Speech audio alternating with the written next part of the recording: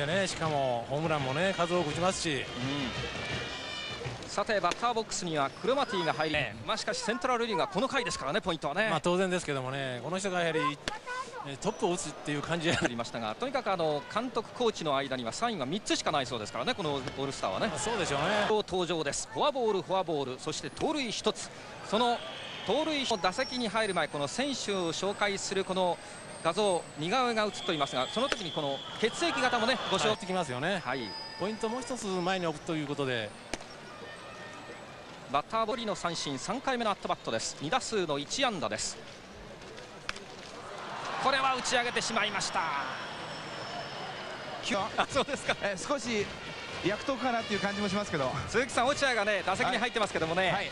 やっぱり2点、えー、腕のこの挟み方っていうんですかねこれもなかなか真似できないですよね。あっと！ナイスピッチングです。先ほどの回はモイナーさんセ・リーグの攻撃、我々放送してわずか8球だったんですよ。そしてこの出るよりはやっぱりランナー置いてのねそのバッティングをやっぱり見たいんですよね、まあ、この後の打席を、ね、期待して、はい、わあしかし早いですね、広さを打ってセカンドが他チームのファンははっきり言って不愉快でございます。テレビ新ここまではもう完璧なピッチングを渡辺続けております。